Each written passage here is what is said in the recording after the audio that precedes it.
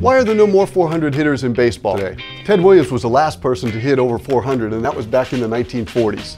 Today, no batters are able to hit over 400. Why is that? Here's a picture of the distribution of batting averages back in Ted Williams' day. You can see that the center of this picture was around 260. That's still the case today. This picture is a distribution of today's batting averages, and most players are also hitting 260 today. The difference in these two pictures is that this picture has a much wider spread about the center of the batting averages, and this picture has a much narrower spread.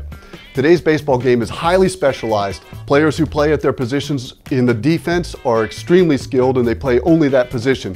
In Ted Williams' day, there were outfielders who would come in and pitch. So the fielding was weaker and the pitching was weaker, and Ted Williams was able to have a chance to bat against weaker defenders and also weaker pitchers. Today, the highly specialized game has kept batting averages highly concentrated around the mean of 260, which is why you don't see any more 400 hitters in baseball.